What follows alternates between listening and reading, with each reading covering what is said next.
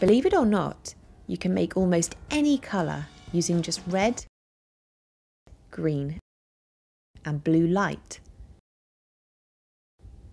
Computer screens, for instance, consist of tiny dots called pixels. And each pixel is composed of three smaller dots of light that shine only in those colours. We set those colours by using decimal colour codes. So each of the three colours, red, green and blue, can have a value from 0 to 255. 0 means the light is set to off, and 255 means you're showing the maximum brightness for that colour, and you can set the number anywhere in between. Because you can do this for all three colour variables at the same time, it means that you can make 16,777,216 colours. Phew!